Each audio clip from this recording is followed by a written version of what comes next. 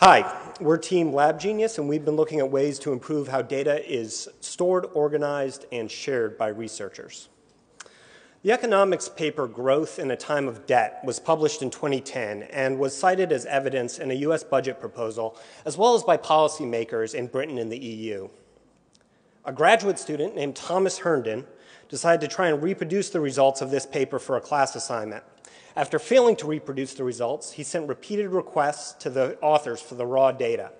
He finally received the files and found several errors, including coding errors in the Excel macros used to calculate the figures shown in the paper. These findings were finally published in 2013, three years after the paper had been originally published and only after it had been cited over 100 times. Now, the point of this story isn't to demonize the publishers of this paper. Rather, it's a reminder that even at the most elite levels, research is a messy business and that it can have real effects on the world. If Herndon's request for the original data files had simply been ignored, how many policies would have been influenced by a mistake in an Excel macro? How many more papers would have been published citing growth in a time of debt as a source? We want to make sharing the raw data from scientific research standard practice. We know that researchers are busy people and want to make this process as fast and as simple for them as possible. We believe that by sharing data in an easily accessible place will not only help catch mistakes, but also increase the quality and pace of research by facilitating cross-discipline study. We also hope that providing a central place to look at full scientific projects will be an immense help to students in the sciences and help improve scientific literacy in general. Now, for these ideas to be realized, we need enough researchers using common software and data practices for it to become the new standard. How can we accomplish this? We must create something that benefits researchers and their labs so much that they can't afford not to use it.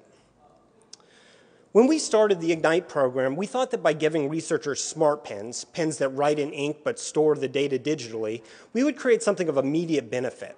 After interviewing researchers, however, we found that getting their physical lab notebook into a digital format was low priority for them. We also talked to people already using electronic lab notebook software to store their data centrally and found that while most people were okay with using it, there was little enthusiasm about it. This led us to the conclusion that just adding smart pens or creating electronic lab notebook software wouldn't be of enough day-to-day benefit to entice researchers into good data storage practice. Rather, they were just part of the equation that would result in something convincing enough to drive adoption. During our time at Ignite, we focused on three primary areas of investigation. We wanted to give smart pens to researchers to see if their benefits outweighed the problems they created.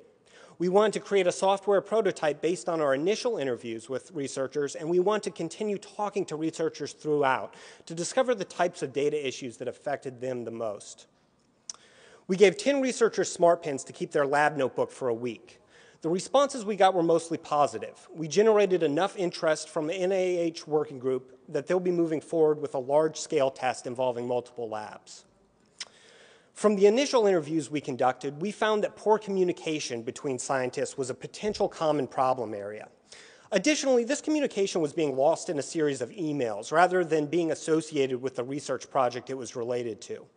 We created a software prototype that not only was capable of storing scientific data organized by project, but also had a design focus on the ability to easily chat with other team members. The communication is automatically stored and associated with projects or individual data entries in a way that it can be searched and retrieved easily. Like the smart pens, we are putting this prototype into the hands of working researchers and getting feedback. We're still in the early stages of these tests. Through our continued interviews, we have found several promising areas that qualify as burning needs for researchers, which also dovetail with data organization. The entire grant process, from applying to delivering results, could benefit from better software tools. We also found scientists spend a lot of time trying to turn their data into presentations and would benefit from making this process easier and more integrated. Finally, good software tools haven't yet caught up with the growing role of data science and research, and there are opportunities to make the process of analyzing data on a single platform much easier and less time consuming. We feel these are promising directions for solving real day-to-day -day problems for scientists and plan on exploring them further.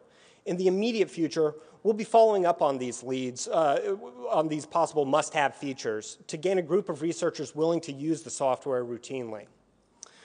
Now, this is a big problem space and not something that's likely to be solved by a single solution, but rather by a combination of improvements. We're still in the very early stages, and at this point would benefit greatly just by talking to researchers and managers about their challenges surrounding using and sharing data. If you're interested in this problem, either from the big picture view or for solving day-to-day issues, come talk to us. Thank you.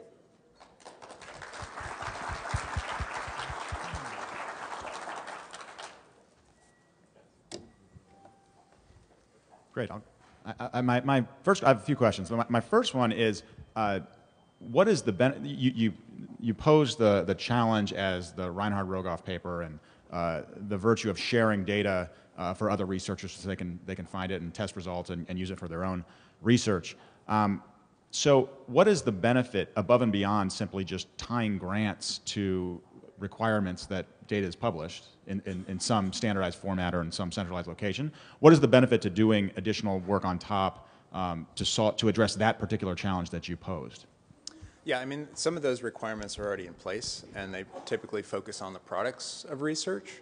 Um, but what we're aiming at is getting all of the objects associated with research from the, you know, the gel you run in the lab to the graph that you create um, part of this uh, system so that it's very easy for researchers to, to present everything as, as one package that you can go and, and look at later and say, oh, they did this step here, you know, even though that might not make it into the final paper. If you really need to know how to reproduce something, you can go and, and look at the source.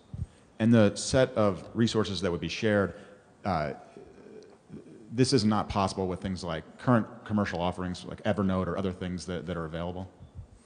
Um, so what we think is that there needs to be a tool dedicated to uh, the types of data that researchers generate. I mean, Evernote is a great general purpose tool, but it's not something that people are using to store, you know, all of, all of these bits and pieces that are associated with research. So.